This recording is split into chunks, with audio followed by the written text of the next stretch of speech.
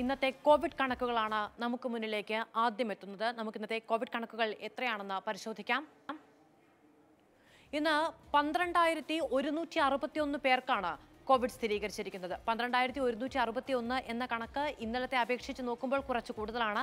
ഇന്നലെ പതിനോരായിരത്തിന് മുകളിലായിരുന്നു കോവിഡ് കണക്കുകൾ പ്രതിദിന കണക്ക് പതിനോരായിരത്തിന് മുകളിലായിരുന്നു. ഇന്നലെ ടെസ്റ്റും കുറവായിരുന്നു. അതുകൊണ്ടായിരിക്കാം ഒരു പക്ഷേ എങ്കിൽ പോലും പന്ത്രണ്ടായിരത്തി ഒരുന്നൂറ്റി അറുപത്തി ഒന്ന് എന്ന കോവിഡ് കണക്കാണ് ഇന്ന് നമുക്ക് മുന്നിലേക്ക് എത്തുന്നത്.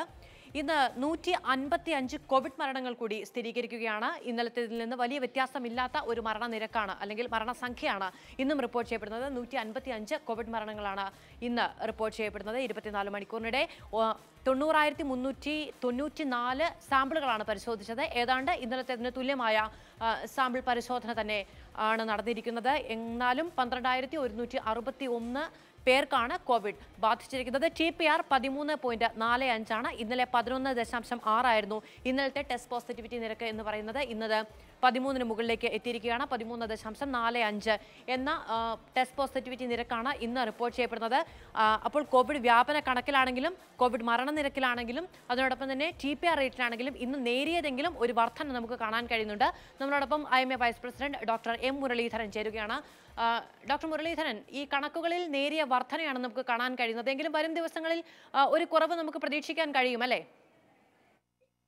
സത്യത്തിൽ ഇന്ന് എപ്പിഡമോളജിക്കൽ പോയിന്റ് ഓഫ് വ്യൂ വളരെ പ്രധാനപ്പെട്ട ഒരു ദിവസമാണ്. കാരണം കൊറോണ പോലെ തന്നെ മലയാളിയെ ഭീതിപ്പെടുത്തിയിരുന്ന ഒരു പക്ഷേ അതിനേക്കാളേറെ ഭീതിപ്പെടുത്തിയ നിപ്പ വൈറസിന്റെ ഉറവിടം ശാസ്ത്രീയമായി പ്രഖ്യാപിക്കപ്പെട്ട ദിവസമാണെന്ന് വവ്വാലാണെന്ന് പ്രഖ്യാപിക്കപ്പെട്ട ദിവസമാണെന്ന്. അത് കൊണ്ട് തന്നെ എനിക്ക് വളരെ സന്തോഷകരമായ ഒരു അനുഭവമാണ് ഇന്ന് കാരണം പക്ഷേ അത് ഈ കഴിഞ്ഞ ഇരുപത്തിനാലാം തീയതി മുതൽ കൊറോണ വൈറസിന്റെ ഇൻഫെക്ഷൻസ് കേരളത്തിൽ പതുക്കെ പതുക്കെ കുറഞ്ഞു വരികയായിരുന്നു. പതി പതി ഇരുപത്തിനാലാം തീയതി പതിനേഴായിരം അതിന് തൊട്ടടുത്ത ദിവസം പതിനാറായിരം ഇന്നലെ പതിനൊന്നായിരം ആയിരുന്നു ഇന്ന് വളരെ ചെറിയൊരു വർധന ഉണ്ടായി പക്ഷെ അത് നമുക്ക് എനിക്ക് തോന്നുന്നു അത്ര പ്രാധാന്യം ഉള്ളതായിട്ട് നമുക്ക് പരിഗണിക്കേണ്ടതില്ല. ചെറിയൊരു ടി പി ആറിലും ചെറിയൊരു വർധനമുണ്ട് അപ്പൊ മൊത്തത്തിൽ നമ്മുടെ ഒരു ഡൗൺവേർഡ് ട്രെൻഡ് നമുക്ക് കൃത്യമായിട്ട് അനുഭവപ്പെടുന്നുണ്ട് എന്നുള്ളതാണ് വളരെ സന്തോഷകരമായ കാര്യം.